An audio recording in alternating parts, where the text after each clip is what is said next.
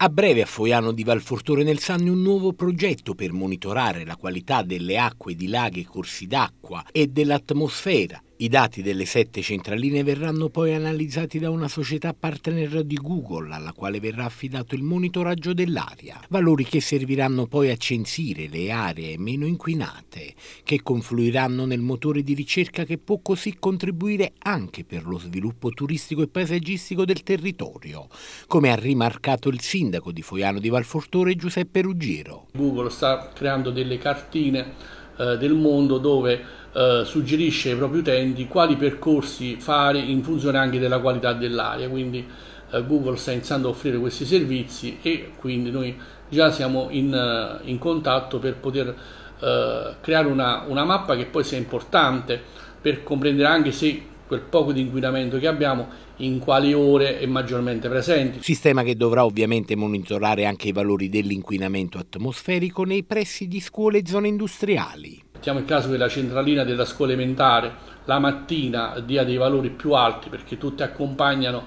eh, con le macchine i propri bimbi a scuola, noi potremo limitare magari l'utilizzo delle macchine in quell'ora. Oppure vediamo che nella zona industriale abbiamo delle attività che possono produrre qualche produzione di eh, particelle eh, inquinanti, cercheremo di fermarle.